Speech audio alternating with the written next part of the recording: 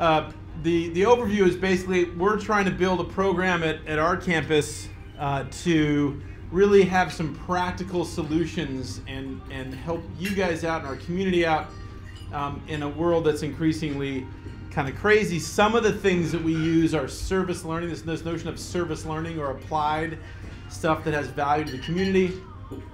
Something I call conservation mechatronics, which I'll talk about as an example of of our new way of doing it, and then just some of the example of some of the research our students are doing and what we're hoping to do in the future. I love the sign. So we're, we obviously obviously are in some strange times right now, um, at least Well, in terms of. Birch is not you. yes, I'm not accused of being an introvert too much, but but we really are in uh, in difficult times for folks that are uh, technical or, or or scientifically inclined. Unfortunately, so we have a whole host of things. So so environmental challenges seem to be getting uh, crazier and crazier. In this case, this is Hurricane Harvey a few months ago, about to strike uh, uh, the Texas coast, Houston. So we have, as we know, things like the Thomas Fire and all this jazz, which which uh, tangentially or, or, or, or tangibly, excuse me, are really, really um, uh, both challenging but also oftentimes unprecedented in terms of the scale or magnitude of impact. We have this growing regulatory bureaucracy which um, oftentimes can get in the way of effective management. And so in this case, we're looking at the Santa Clara River estuary, looking south down the coast or southeast down the coast. And what you see in the foreground there, that's the, those are the camping areas that we've not been able to use for the past many years because of the impoundment of the Santa Clara River estuary to the right, and stuff is completely flooded. And but one small example of this is on one of the I, I, I help review some of the um, some of the technical documents uh, that have been proposed to deal with um, discharge from the Ventura uh, wastewater treatment facility, et cetera. And and and at one meeting, I try I like to delude myself into thinking that I'm actually you know reasonable and sane and things like that. And and I like to think that I can interact with all kinds of stakeholder groups and and be normal, but this case drives me crazy. So we had we have a, a discharge right there in the estuary, and we have the along the, the right hand side there, which you can't quite see, is uh, a dredging that happens every year to dredge out the harbor. So we have a 36 inch pipe that goes there, discharges uh, a sediment. Ventura uh, Harbor, right? That's right. That's right. Sucked out of Ventura Harbor, dumped on the beach, beach nourishment, etc. And so I proposed, and, and so there's basically a lot of hydrological models that were being proposed that if some of my freshmen had proposed those, I would fail them in the class. They were way too simplistic. They were Excel spreadsheet level simplicity. And, uh, and so to help alleviate the controversy, I said, why don't we just plumb up, why don't we just plumb up the discharge pipe, which is very, very close to where it says June, June 5th there, and, and then just we can throw that water straight out into the ocean as opposed to the estuary, and we can test the hypothesis that that the water level is being maintained by this discharge, or is it something else like the the watering of the crops in the field to the left? And this gentleman in this in this broad stakeholder meeting said, "You'll never get an ocean discharge permit." And I said, "Well, you know, I, I know it's hard and everything, but we should try." No, you'll never get an ocean discharge permit. I said, "No, I know, but but we really need to." Uh, you know, this would really, this, you know, otherwise we're going to spend millions of dollars, is, was, which is the proposed solution, that the treatment facilities spend millions of dollars, do a treatment wetland, which I love treatment wetlands, so I'm all for that. But, but you know, do we really need to do that to solve this problem? And we could spend, you know, the Cadillac version would have been hundred thousand dollars. We could probably spend twenty-five, thirty-five thousand dollars running a few hundred yards of pipe into, you know, in a T intersection into that into that discharge pipe, and we would know very quickly with a little, you know, simple valve, uh, if in the summertime by shunting this water straight offshore as opposed to first into the estuary, if that started to make the water level drop, easy, you know, just turn the valve and we stop it, right? Very simple, straightforward solution. No, the guy said you'll never get an ocean discharge permit, and I started getting really hot under the collar, and I said, well then we should just, we should ask for it. And he said, I know you're never gonna get an i- ocean discharge permit because the Army Corps issues those, and I'm the guy from Army Corps that issues those and and I started saying bad words, and then and then the uh, the moderator said, "Thank you, Dr. Anderson. Thank you. I really appreciate that, but I think we're going to move on now." So the notion, of, you know, we have so so many wonderful laws and policies to protect our environment and human health, which are great, but sometimes they take on a life of their own and they become counterproductive. And they lead the community to think that these laws are not for human health, not for environmental protection, they're for some kind of other political agenda, and then we lose. So, dealing with these regulatory bureaucracies to make sure they're really working um, is, a, is a huge challenge. We've had this wide, simultaneously, we've had this wide, broad uh, disinvestment in public higher education. So, just but one small example. This is from last, this from this week, earlier this week. But um, the governor's proposed budget to the CSU system, my university system, which is the largest public uh, education institution in the U.S. with half a million students, to just meet the required additional students that the state has required us to take, we need $268 million. They've proposed to give us $90 million. So that's one third of our budget. So this is a ongoing thing, not just with our university, not just with our state, but broadly across the U.S. This this very long-term disinvestment in public higher ed, and then and then lastly, this this current era of this very concerted very clear, and these, these, this is from a couple days ago, and then the one on the right is from a couple hours ago. But the, uh, the, the US EPA has now decided that they're, they're going to remove the waiver for the state of California. And so our, our, our, our fuel standards, uh, the, the corporate average fuel efficiency standards are going to change. They're going to want to lower those. And of, of course, all the associated stuff with emissions and human health and, and, and climate change and all this and that. So clearly, the state of California is going to sue about that. But but still, this notion of, you know, we can disagree on how to get to where we want to go, but this current era of anti-facts, anti-reality is a is a, is a, is a true challenge for us and our students. So my department is called Environmental Science and Resource Management. Jayla over there is a product of that. Yay, Yahoo!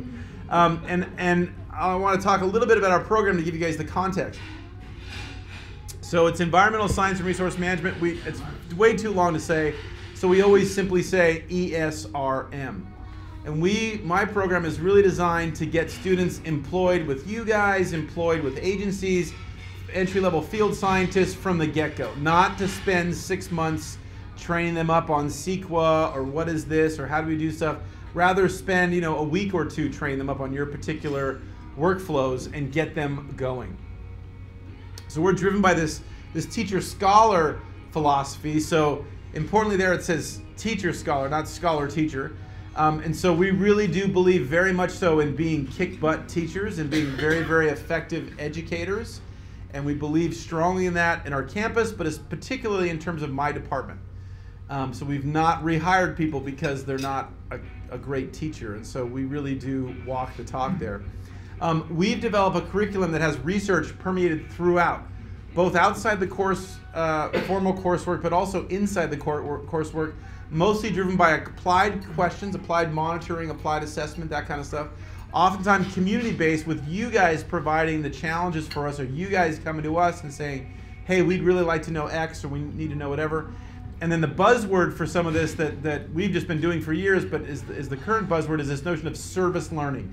So we could learn about something in the abstract or with a theoretical model. We prefer to embed the students with you guys or to do a project where they have a deliverable to an agency, to a consulting firm, to a, to a, uh, uh, a Native American tribe, something like that. We're very interdisciplinary. Our students take two years of basically just foundational stuff, not just in the sciences, but also in the humanities, social sciences. We really are a multicultural campus diverse perspectives. One time I was giving, I'll talk about drones in a little bit, but we do a lot with drones. We're now recognized as one of the leaders in the in the Western U.S. in terms of this technology. But I was giving a talk to another university that shall be unnamed in California, and I said one of our strengths with drones is that we're multicultural and we have really diverse students. And this engineering professor, very sweet man, he said, "I don't. Why did you? What was that bullet point?" And I said, "Oh, we're diverse." And he said, "Yeah. Why is that good?" And I said, "Well, because people, you know, have have different thinking and they come to the problem with different approaches. And he, he just could not get his head around. He didn't think that was bad per se, but he didn't see it as a strength. We see this as a strength. Most of our students are first generation college goers. Um, we have a lot of veterans, uh, GI Bill folks, and, and that to, to me is, is one of the things that, that makes me proud of our institution and, and happy to go to work each day. And then again, we really emphasize the, the practical, field oriented, um, deliverable skill sets that we uh, build around the department. And our, our primary metric is student success. So is how well are our students doing? So this this slide just features the guy with the glasses on. And so on the left, he's speaking to Oxnard middle school kids. On the right, he's at the DARPA uh, robotics challenge, which we were invited to, to participate in. On the, the right down over there, he's been hired and he's now giving a training seminar to my fellow uh, faculty member and myself. On the left, he's piloting a new um, augmented reality interface that we were uh, developing for one of our robots. So, so that is our measure of success. Yes, we like to publish papers. Yes, we like to get grants, all that kind of good stuff. But really, our main thing that gets us up in the morning is seeing our students do kick butt work and go on to do kick butt work after they leave us. We really also see our program, our ESRM program, is really this. And sometimes people say this kind of stuff, and it's a little kind of boilerplate, and it's a little, you know, blah blah and touchy, feel good. No, for us, it really is true. So we have this very strong interplay between our research, our teaching and learning, and our service, and it all feeds back um, upon us, upon one another. Um, so here we go. So if you have to fall asleep now or finish your steak or whatever, whatever your chicken or salmon, whatever you're not. So if you totally fall asleep, you can just remember this. So I, I suggest that you have to understand to understand our campus. You need to properly understand the, the unique point in time that we are at in our country and our world, and that really frames what we're trying to do. And then as one example here, I'm to run through our, our work with robots as an example of merging what we're trying to do by taking physical stuff, equipment, and merge it with this philosophy that I've been mentioning, this this this teaching scholar uh, model. And, and, the example we'll talk about is this notion of this conservation mechatronics. And then I'll run through some examples of other research that we're doing, the student-based research, to give you guys a feel for what we're we're working on. Um, again, interrupt me if I'm going too long or this isn't isn't uh, making sense. But so uh, a key thing is this. A key thing to our success is this thing right here, this, this smartphone. And that's our blog. We, we do a lot of blogging, that's our blog. But we truly are, and again, in this, this current era of insane lack of people acknowledging reality and screaming fake news and stuff, it, it's, it's, it's easy to forget that we really are in this tremendously magical time. And so the fact that we can put this thing in our pocket, uh, you know, just insane. So much more powerful than all the computers that ran the space shuttle and and on and on and on. Microprocessor speed has crashed uh, tremendously in recent years. That's called Moore's law. That's right. That's right. And so right now it's having about every slightly slightly more than every year. And and the not only is the speed uh, you know getting faster, the cost is dropping. More importantly than just those things, that thing, that that cell phone behind in the background, that smartphone um, has driven a huge amount of technological innovation. So first and foremost, very low power draws in terms of the, the, the circuitry and the, and the circuits that are running on there. Very cheap, very accurate, all kinds of wonderful, because everybody wants to play the racing games, very, very accurate, you know, tilt sensors, uh, uh, uh, uh, uh compasses, all those things, incredibly um, powerful and helpful. That's secure. Uh, right, exactly. Yeah, that, that's, that's, a, that's a different question. That's a different question. But uh, we're really now entering the fourth so-called fourth industrial revolution. But what we do in, in our program, one thing that that that um, helps make this real is we can do a lot of this manufacturing ourselves. When I was an undergrad at UCSB, I had the, the fools gave me a key to the machine shop, and I would build a lot of the equipment we needed to do field monitoring, uh, uh, uh collectors, uh, all kinds of things. When I went to UCLA, it was a union shop. When I went to UCLA, they said, yeah, we can build that for you. It's 60 bucks an hour. What grant do I charge it to? And I was like, whoa, whoa, whoa, whoa, whoa, what? Um, at Stanford, we had uh, a wonderful place, which was uh, every student paid 25 or something, 50 bucks a semester, or actually a quarter, and they uh, got access to 3D printers, laser lathes, all these wonderful things. So we've done um, as best we can in my lab to replicate that. So we have essentially a maker space in our lab. So amongst other things, we have a, a, cadre of 3D printers that, that are that are run by students, that are used by students that can make stuff. And, and we're getting and we mostly print it print in plastic, but you can print in wood, you can print in metal, you can print in chocolate, you can print just about in anything you want. Um, and more materials with all kinds of wonderful properties are coming out daily. Secondly, we have we use a lot of open source technology in my lab. So one, that's cheap. Two, it means students can port that with them to you guys or whatever firm or agency they, they, they choose to use. Um, fantastic for both creation but also for sharing stuff. So a lot of stuff that we create, we put on the web. Uh, other labs, other schools, other entities can use it and they refine it, and then it's a wonderful, uh, much much faster development period than if everything was privatized and everything was was copyright protected. And then of course the, this all amounts to the maker movement in general. So here's our campus, and I believe this is a, a pretty unique, special place. Um, as, as I mentioned before, we really not only tolerate, but we encourage new thinking. Very much so. We're this baby campus, right? So if you look at our logo, it says established 2002. That's baloney. We didn't take our first freshman until 2004. We didn't graduate our first freshman class until 2008. So we really are more like you know just over a decade old. So we're we're still very small in the grand scheme of things. We still are very much a, in a startup mode, in, a, in an incubator type mode.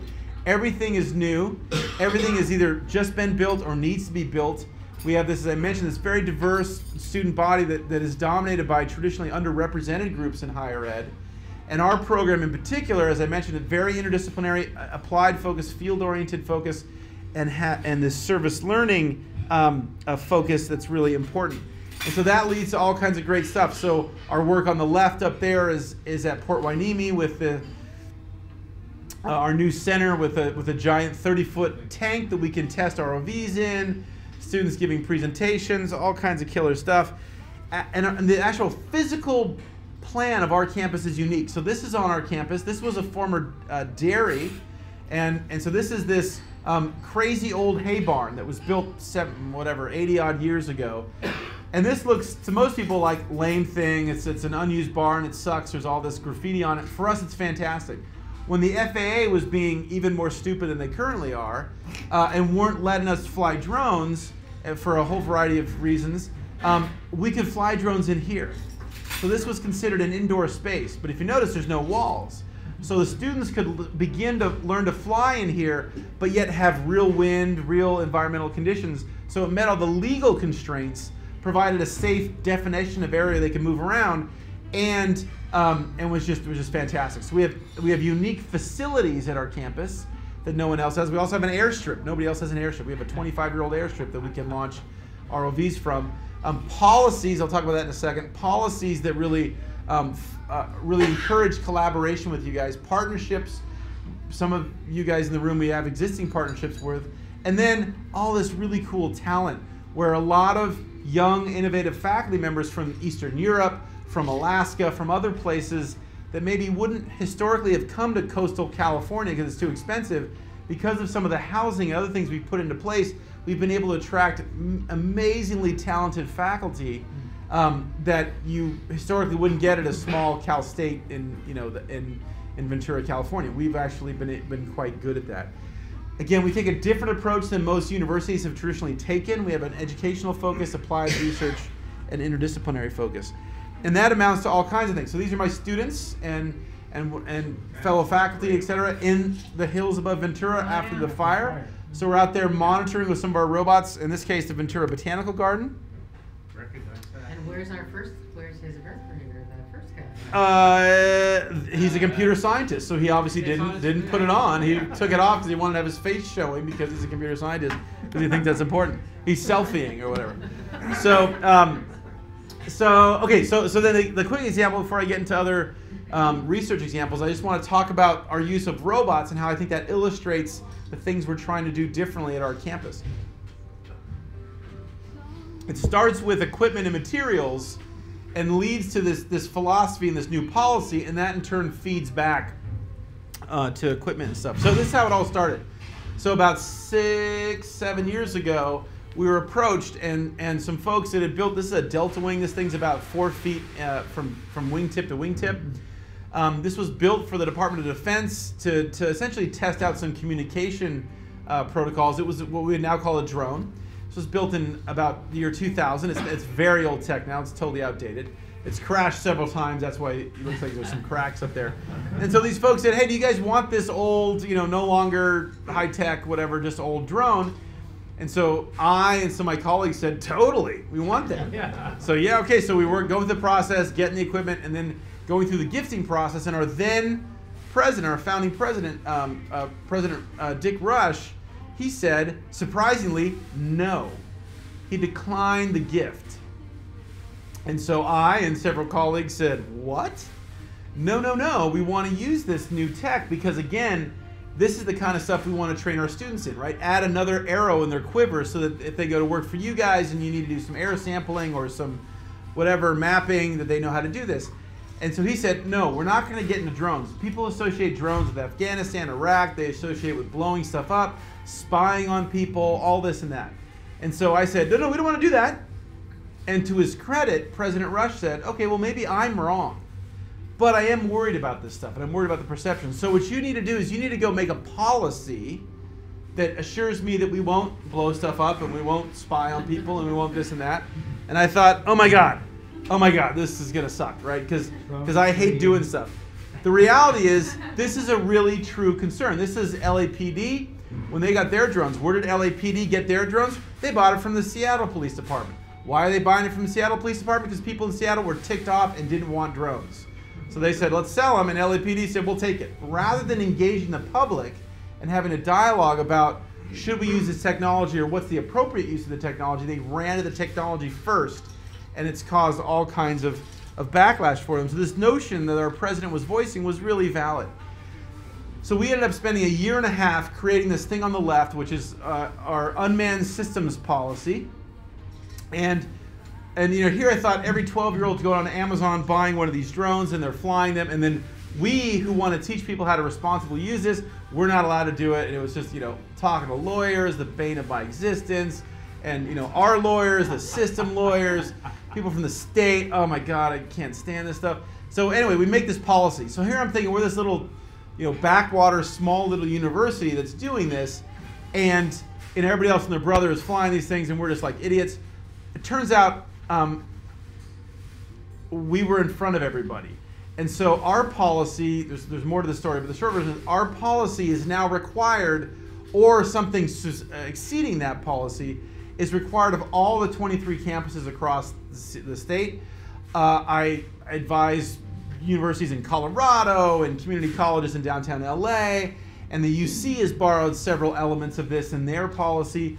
So now we're looked at as the leaders in drone education. It was like, wait, wait, what? You know, so so again, because we have this first principles approach, and let's make sure we're doing everything correct, legally appropriate, scientifically appropriate, safety wise appropriate, it's really opened a tremendous amount of doors. The other, the other way we've gotten our robotics work getting off the ground is again, we're a small, you know, small Cal State. We're not USC, we're not Stanford, we're not UCLA. We have a hard time competing with those entities in terms of the pure NSF type grants. Um, however, we're extremely competitive when it comes to educational grants. And actually, we do okay with the NSF stuff too. But but but you know, um, but so our approach is to take an educational crowbar, slip that under the door, start with that funding, and then by the way, we're experts in this, and then we get larger research dollars that follow. So this is one of our main underwater robotic uh, sampling devices. This is called Open ROV. This is made by a startup in Berkeley, and we're now one of the experts in this. So now we advise people around the world in terms of how to build this. So we do YouTube videos with people, Google chats, all kinds of stuff to help them. We most just most recently built one for this NGO in East Africa for um, for some education stuff they're doing. So we do that kind of stuff. But um, and this particular NOAA grant, which is under threat from the current administration because they don't think we should be doing education, education with Hispanic kids, and any work on changing environment. They, they don't think that's uh, worthy of our public dollars. But but so far we have, you know, we still have this year we still have some money. But so we take that money and we do stuff. So in this case, this is an effort with high, a local high school in Oxnard. So we collaborate with them and our students. We also collaborate with middle school folks, and it turns out that that ROV is a little bit much for the middle school kids, but this ROV is the perfect scale for them. They can talk about hydrodynamics, they can build their own PVC frames, they can experiment with with drag and all that kind of stuff. So we do all kinds of neat stuff with that. Our students, meanwhile, are learning how to build these units. This is in our old lab. And we have a wonderful peer to peer network. So our, students that know nothing come in and watch YouTube videos. What is soldering? What the hell is electricity? Blah, blah, blah, blah, blah. So they learn that.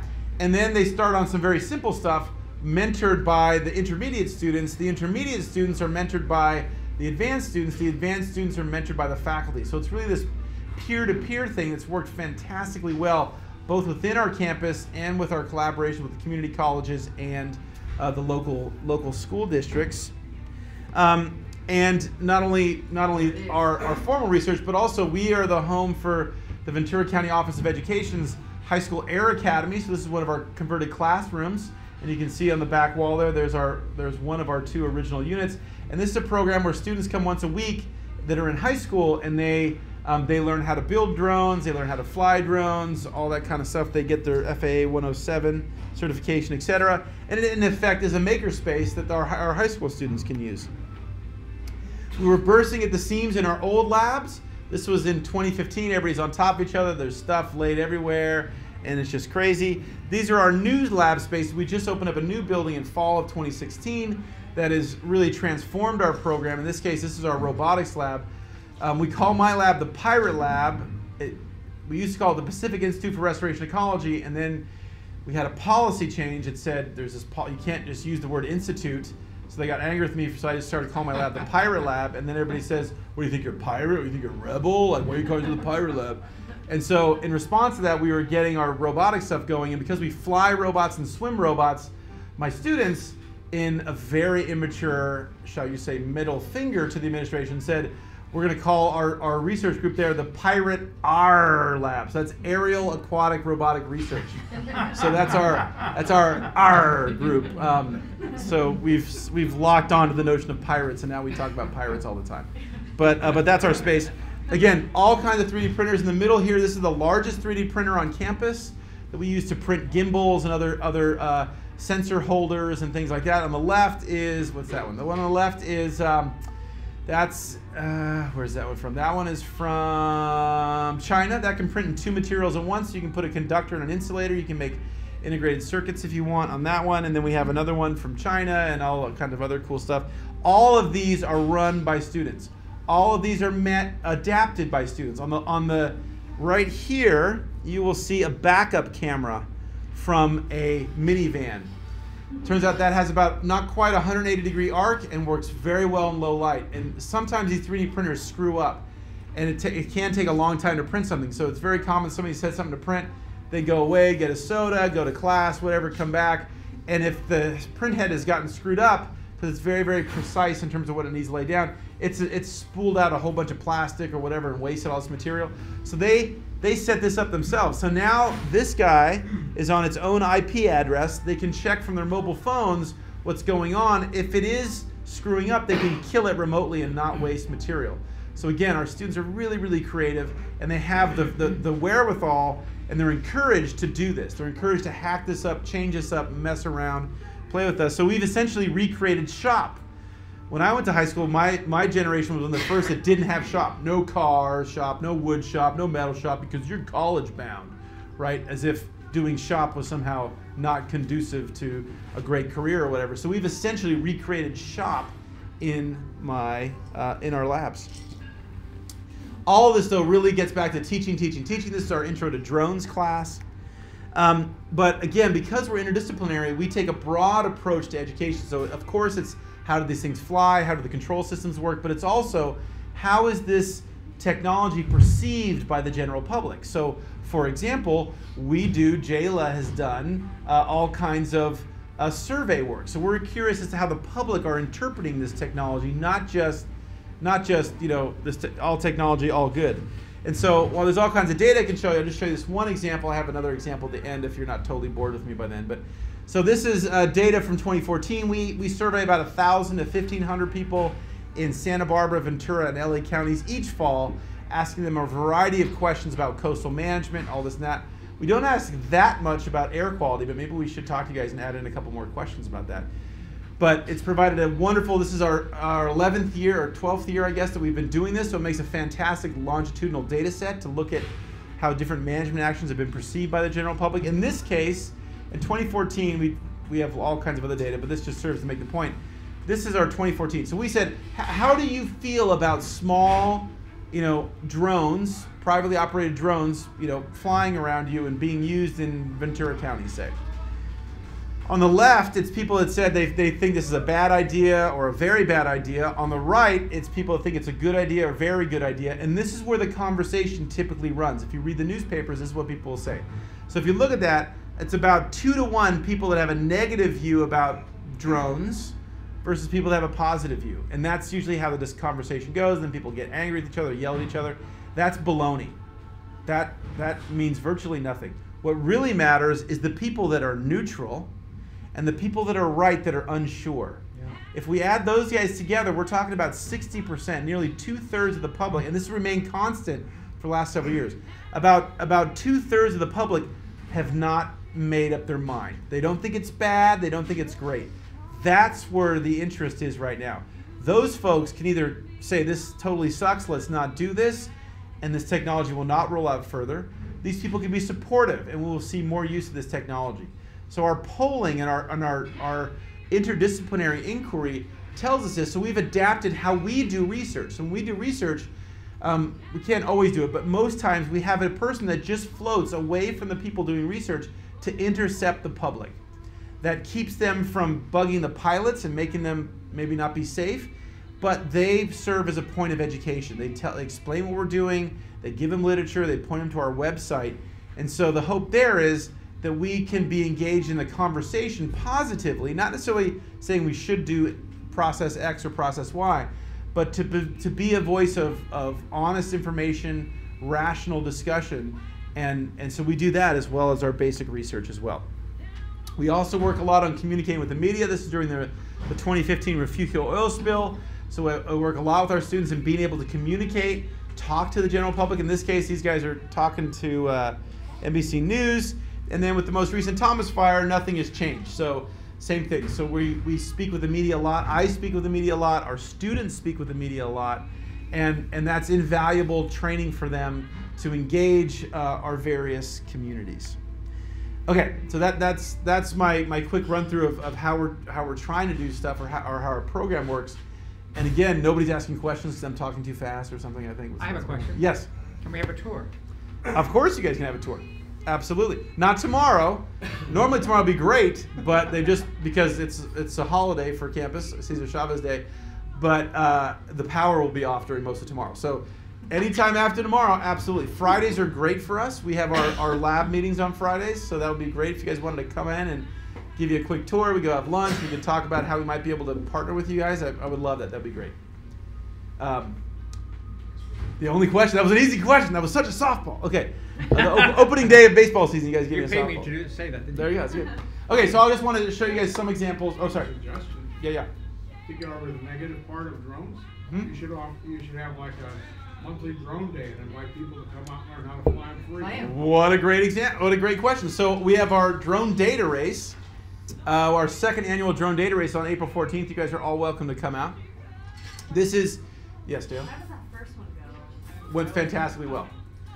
So, uh, so the idea, so the idea with that is, is exactly what you're talking about. It's, it's how do we engage the public and and and I'm worried about drones too. Don't get me wrong. I'm not trying to say they're all perfect and idyllic, but we need to have rational conversations about them, not some of the fear mongering or or say they're they're the best thing since sliced bread that seems to sort of dominate the the media coverage. And so one thing, I get all these calls of people wanting to start a drone business, and they want to, and because of the the institutional, the, the FAA, the, the legal barriers, it's been very hard historically to start a, a drone business, say to map crops or to do one thing or another. And so, as a consequence, we get mostly male dominated, mostly piloty, kind of very technic- technically oriented folks, and they get all the legal approvals and this and that, and they're like, I'm gonna go fly.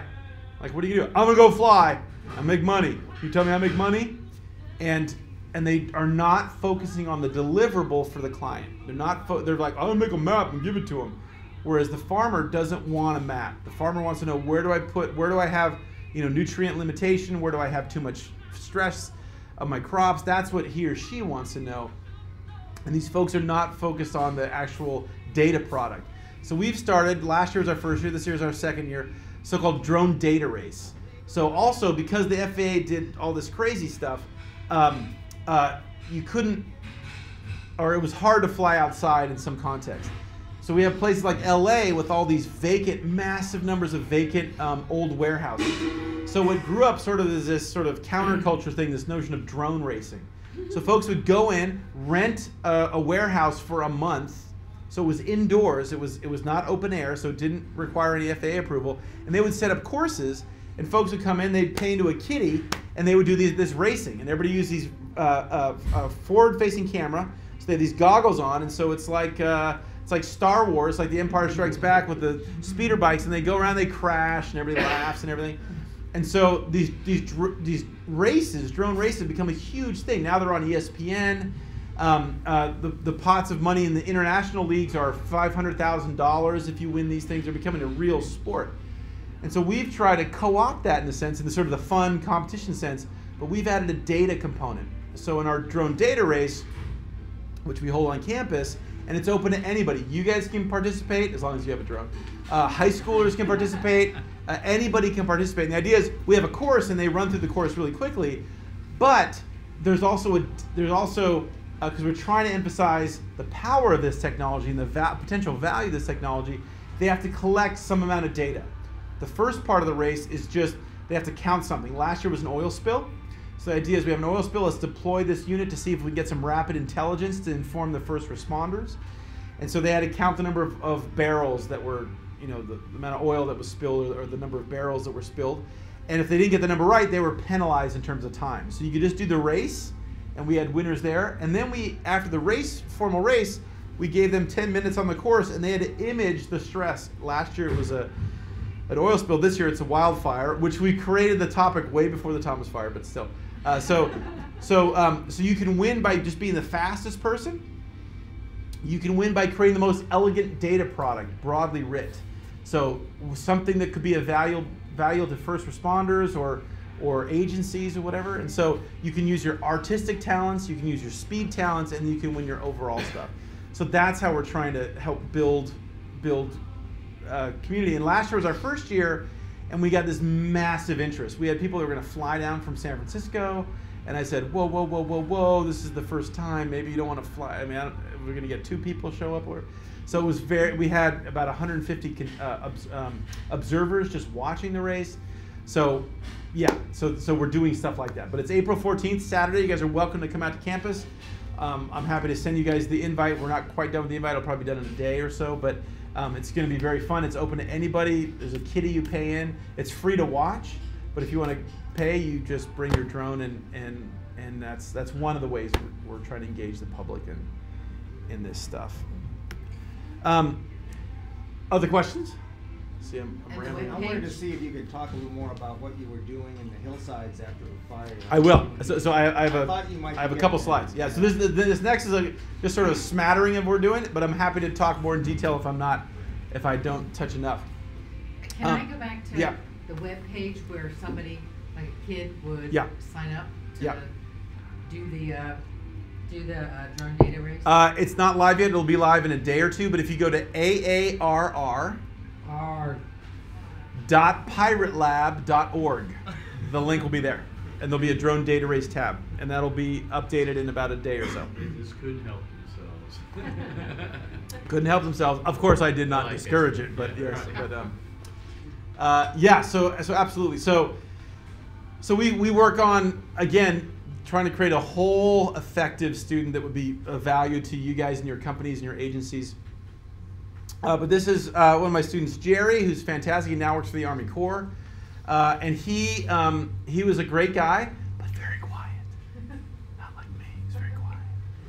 And so, you know, he started working in our lab, and, and I said, okay, right. And after he had some experience, I said, hey, I want you to start analyzing some data. And he said, okay. And then I said, I want you to start going and presenting data. And he goes, oh yeah, no, I, I don't want to. I don't want to do that. I was like, yeah, okay. Well, you're gonna do it anyway. Sorry, dude. And so we started sending him to meetings, and you know, it took a little bit took a little bit longer, but uh, he was great. So so in this case, this is him down at the chancellor's office in Long Beach, and you know, he'd go down and present something and talk.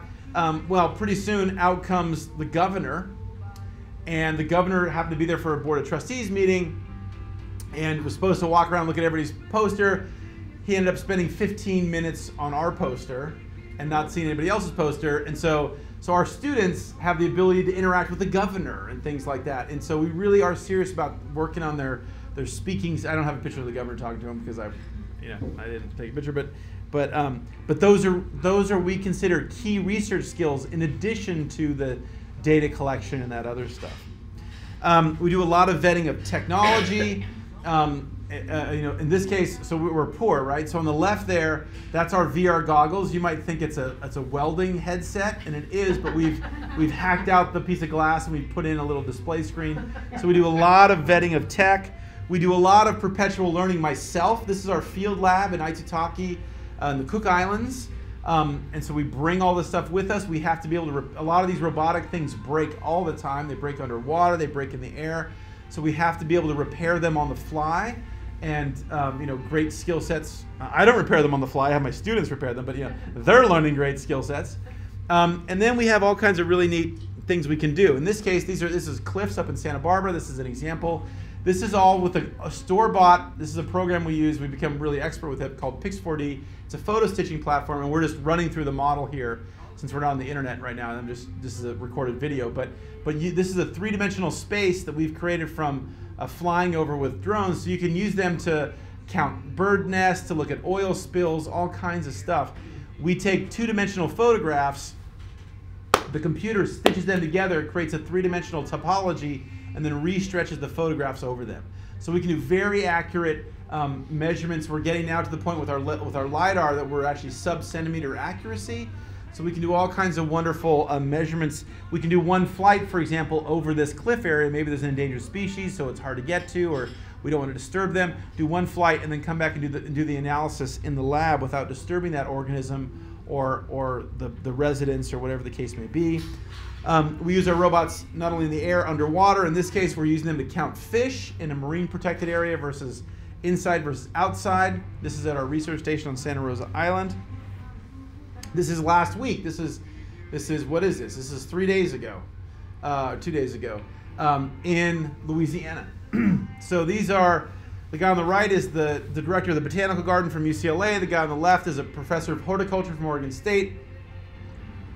The guy in the middle is one of our undergrads who's just about to graduate, looking for a job. Hint, hint. Um, uh, and what he, so that we're doing is we're in this case we're doing wetland restoration in a bottomland hardwood swamp in Louisiana, and uh, we're, we're, we're measuring the demography of trees and and we're trying to calibrate our observations by using the drone. So the drone is right here. In this case, is a thing called an Inspire One.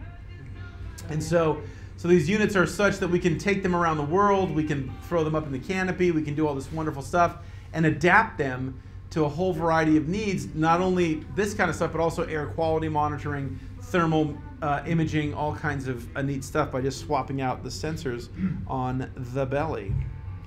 Um, because we have this focus on interdisciplinarity, this is this class that Jayla has come with us. I just returned. So these are undergrads that come from across campus. They tend to mostly be my majors, but but they every it's open to anybody on campus. Nursing majors, sociology folks. And this is our work in Louisiana where we not only do wetland restoration, we do we install food gardens in neighborhoods that don't have access to clean, healthy food, and we embed in the local culture. So we embed in the music community, the chef community, the with the politicians, the business community, etc. And again, these are folks that normally are working at least part time, if not sometimes close to full time, to pay for school. So we have mechanisms in place to, to subsidize their travel.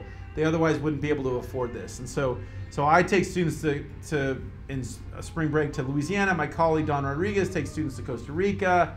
We take students to Hawaii, to the Cook Islands, all around, and that's just my program. Other programs do uh, i would say they don't do the same level of service that we do but they do neat projects all around the world. Um, and they apply and all that kind of good stuff. Okay other examples of research that we do. This is this is some of our work in the deepwater with the deepwater horizon the initial conceptual problem with Deepwater Horizon is that we were using an incorrect mental model. So we were using the existing oil spill paradigm, which came from pipeline breaks and tanker uh, collisions and tanker spills, which was primarily a surface spill phenomenon. We just assumed, we just took that old paradigm, which there's a little deposition in, in, in local sediments, and then you know a lot of volatilization of some of the uh, light uh, hydrocarbons, and then a lot of the oil was on the surface, killing poor little birdies and stuff, and then hitting the beach and causing you know beach deposition or wetland deposition. And all we did, I was just as guilty of this initially, is we just took that uh, uh, shallow water model and moved it down and assumed the same thing was happening when the Deepwater Horizon happened at almost 1,500 meters down. That was totally wrong, and that was that led to all kinds of misapplication of resources and money and all kinds of stuff. Um, this is the real model that we've that we've published. That that's really what happened. The vast so oil at that depth and pressure is actually not positively buoyant. It's actually negative. So the only reason why oil went squirted out of the bottom was because of the uh, the pressure um, of the subsurface reserve, and so it shot up. Most of that oil, uh, it was mostly a methane phenomenon. It wasn't. It was oil as well, but it was mostly a methane spill. That dispersed methane and oil um, mostly hung out between 1,200 meters and 1,400 meters in this diverse, uh, uh, dispersed, uh, uh, uh, very um, widely, wide-ranging plume stuff obviously made it to the surface. The stuff that made it to the surface was fairly weathered at that point. Not a lot of, comparatively, not a lot of volatiles there. Uh, and, and so we attacked it uh, with traditional surface uh, dispersants, uh, uh, uh, aerial de deployed dispersants, as we've done in the past.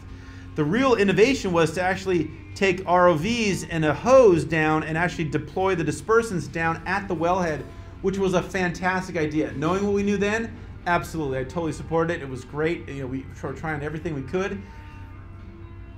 After the fact, my group is it's unclear how effective that dispersant was. So the dispersant clearly did something, but the actual dispersant of the, the physical oil and gas going through that wellhead at that pressure, it was it was self-dispersing, if you will. It's unclear and, so the, the oil companies, uh, uh, uh, various responders will tell you, oh, the dispersants did it. The reason we didn't have as as horrible an impact in the near shore as we otherwise would have was totally due to our dispersant. I think there's very little evidence to support that, and we've published stuff, and I've argued in the peer-reviewed literature with the American Petroleum Institute that um, that I could be totally wrong, but they have essentially no data to support their argument that the dispersants worked very well. Uh, so there's a debate. So how much did the dispersants work? Were they 10% of the of the lack, uh, 10% of keeping the oil off the shores? Was it 30%? Whatever.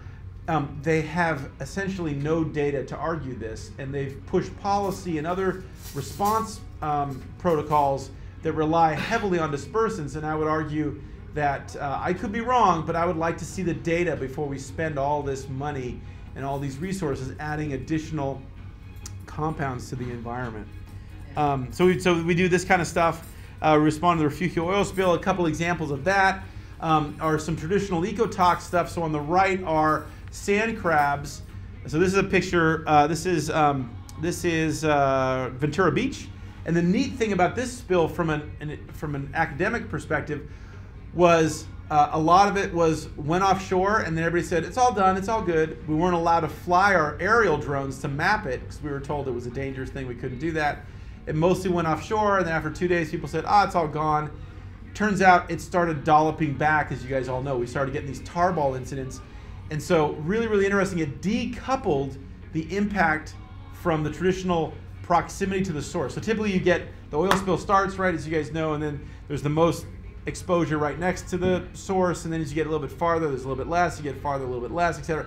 This was was totally decoupled. So we would get you'd go three four miles, no oil, and then all of a sudden you'd get heavy oiling, and then you'd go a quarter mile and there'd be light oiling. Then you'd go another quarter mile and there'd be no oiling, and then you'd go another quarter mile and there'd be more. So so it allowed us to decouple stuff. And so this picture that I took, which was um, Ventura Beach, ran in all these newspapers. Um, uh, that's a different story. So on the right, though, so we did traditional um, ecotox exposures. In this case, these, this is a different concentration of oil in these different replicate treatments um, uh, using sand crabs, the critters that live right here where the, the tar balls were concentrating. And so without going into all the details, but just see if you just look at visually right here, these guys, which these are the eggs from these crabs that resulted, this is after um, uh, I think about two weeks of exposure. Um, what you see is these guys have eye spots. So these these larvae are developing, these embryos are developing normally. These guys on the left, exposed to um, a moderate amount of tar, they don't have eye spots and they have a lot of malformation, so clear, direct impact. So we're doing that kind of work. We're also doing this this interdisciplinary stuff. So for example, let's look at this thing right here. This is um, we measured we measured uh, amount of oil and or amount of tar balls, I should say, uh, oil deposition, and public opinion poll surveys, socioeconomic surveys on 33 different beaches from from northern Santa Barbara to southern Los Angeles County. And this is what you see. This this question is how far did you drive to get to this beach you're at today? And then this on the x-axis, this is how much tarring happened. So six is the maximum amount of tarring. This is no tar balls at all. And long story short, there's no significant effect of how far people traveled to get to the beach to uh, based, on how much tar was there. So so they drove just as far if there was a lot of tar versus if there's no tar. But if you ask them on the lower graph how much money they spent, either the past week if they've been there for a week, if they just arrived, how much money they were intending to spend on the upcoming week, strongly affected. So the areas that got a lot of tar, people spent very little money on, so they basically left early. The beaches with light tarring, people spent, you know, got the regular amount of hotels, they they spent the regular amount of money in in uh, restaurants, etc. And so this is the kind of research that that, uh, that we like to do that that helps answer questions for you guys that maybe isn't a traditional biological question, it's not a typical economics question, but it sort of merges all of these, you know, air quality, water quality, human reaction, all that stuff together, and that's where our our strength is, I would argue. Yeah. What are the API gravities on these spills? Uh, they vary. Um, the stuff in the stuff in the Gulf was primarily very light crude, a very light sweet crude. The stuff in the case of the Refugio spill was very heavy, a lot of asphalts and stuff like that. So that stuff was was was much thicker uh, by and large. Like eight, thirteen? Uh, I want to say 13. Well, maybe like 11. I, I don't remember exactly, but something like that. Oh, Um, okay, so then uh, we have a, in addition to all this various research that we do with our students, we also, which might be particularly interesting to you guys or your or your your groups, we have a year-long capstone requirement, a year-long research requirement that our students have to do to graduate. And so um, a lot of these questions come from the students themselves. And so this is uh, Dorothy that was just with us down in Costa Rica with our class. She's now in a PhD program up in Oregon. But um, but so she was helping us with our beach stuff, and she said, "Hey," so we started looking at microplastics, and she said, "Hey, are these are these sand crabs, which are filter feeders, and these small microplastics defined as less than five millimeters, a lot of times much smaller than that? It's the same size as the food particles they're ingesting. Hey, these these sand crabs eat eat microplastics?" And I said, "I don't know. Why don't you find out?" So we did a trial. So she did this first trial, which we got some labeled, uh, uh, colored mic- piece of small piece of plastic we put a crab in here, left it for 24 hours with an air stone, and then some control crabs. And then at the end, since we're biologists, we kill things because that's what biologists do. And so we, we cut open this crab. He had 94 pieces of plastic in his in his gut, a colored plastic that we put in. And we're like, wow, that's crazy. Great. So we started thinking about projects. I said, whoa, whoa before you do, why don't you kill the control crab just for the heck of it? Kill the control crab. Obviously, none of our label plastic, but all kinds of other plastic. And so what we've since discovered is we've sampled uh, 51 beaches across California. Every actually it's more than this now. This is an old slide. So so more closer to 100 beaches. Every single beach has microplastics on it. Every single beach we've looked at across the world now, across the South Pacific, and the Mediterranean, uh, off the coast of South America, wherever you want to pick, every single site has microplastics. And of the po- animal population we've been looking at on these beaches, um, every uh, every single population of crabs has ingested these microplastics.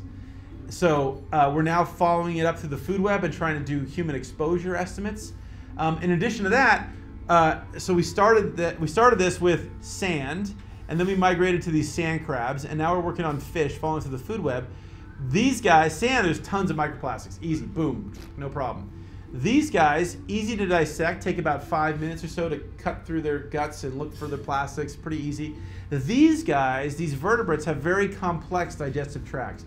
So it takes more like 20 minutes, 25 minutes, half an hour to, to, to go through them. So when our student first started working on this project, he started didn't find many microplastics, but he found these much longer pieces of plastic, fibrous pieces of plastic, and they were all blue color. The stuff we find in the sand and in in these uh, crabs, they're they're pinks, they're they're purples, they're all kinds of stuff.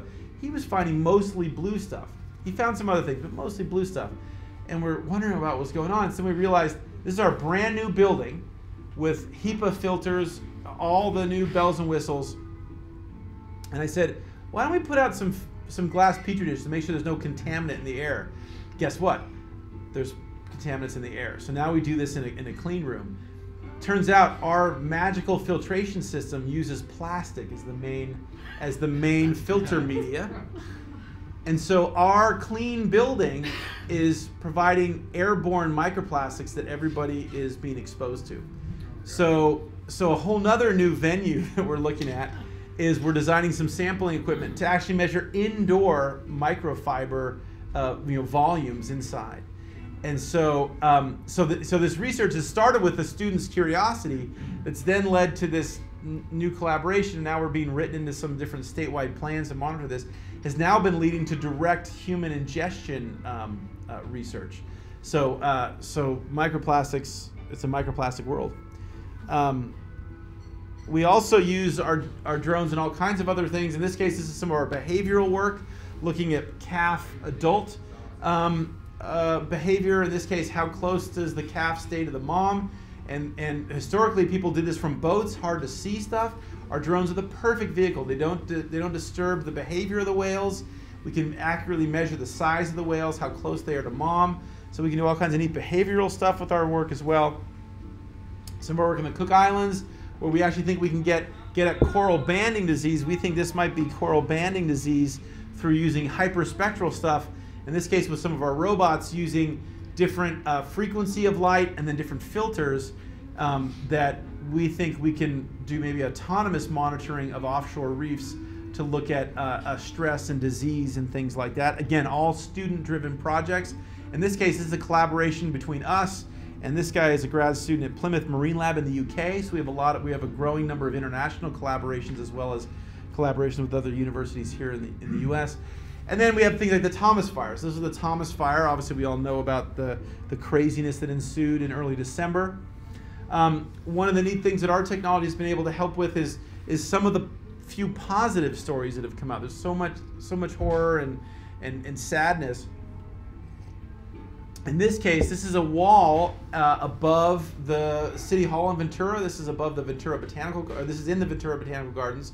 And this is a wall that nobody knew about before the fires. This was vegetation that was 100 to 150 years old. Um, this was from the Mission era, but nobody, uh, we knew there were some walls there, but this exposed all kinds of additional walls. So we've used our technology to do a high resolution map of this. And now that we're ending the, um, the rainy season, we're just about to go back and remap it. And then our, so if any of these walls, for example, have been covered by mud flows or debris flows, we will be able to go back and tell the botanical folks exactly where their archaeologists can look and find these, these structures to do some neat, um, you know, human history of this part of Ventura. So we can use this stuff in a whole variety of things, not just in traditional science approaches. We can also use it to do stuff like this. So this is one of our models. This is from, this is a low resolution run, but this is the beach at Carpinteria. The left side is all of the deposition, the, um, the debris flows that have been dumped. So they are dumping material and then bulldozing it into the beach. So we, we couldn't get an accurate answer from, uh, from the Santa Barbara County as to what the area was, so we just went out and mapped it. So this is from about a, a 10 minute flight. And, uh, and this is just, again, this is normally we, I could have the computer open and play it, but this is just in case we didn't have internet. This is just a student walking through the map. But what you're seeing here is reconstructed beach. This isn't a photo of a beach. This is the computer map, the, the topographic map that we've made of the beach, and then restretched photos over it. So, um, so it's a really powerful tool for doing quantification in space in a whole variety of contexts. Um, So we have that stuff going on. We also yeah. Past nine o'clock, so we Yeah. probably. Awesome. I'm almost done. Pretty soon. So here we go. So this is, we also use a variety of, of, of technology such as uh, open source stuff to do geospatial ma- mapping. In this case, this is publicly reported mortality events from the Thomas Fire. This is uh, wildlife kills. So we can look where wildlife kills were the, were the most abundant, and we're doing a lot with, with animal mortality in the wake of the fire. But these tools are all primarily, or we use them to do uh, education stuff. But then when we have a disaster or a need, we can turn tho- those educational skills into a, a real world application. And then coastal polling, but we're out of time. But I can talk about it. The long story short is when you ask, I think this is the one you guys are most interested in. We have about 47 different questions, but I'll just end with this. So this guy right here, we asked people to rank the threats to various things. In this case, the general coastline of California, coastal wetlands, and they rank things between one and four. So one being the greatest threat, four being the least threat. And we've seen this pattern year after year after year after year, which is when people say, what are the greatest threats to the to our, our surrounding environment? Pollution is by far the number one threat. Everybody thinks pollution, pollution, pollution is it. Not fragmentation of landscapes, not over harvesting, not invasive species, nothing else. Pollution is what the public thinks we should be working on and what they think is the greatest threat to our natural resources. So that's it. That's all I'm going to say. Stay in touch. Um, we have all kinds of resources. Go look at uh, any of our websites, piratelab.org. You can find all that stuff. And that is it. Thanks, you guys. Thanks for having me. Thanks. So, no worries.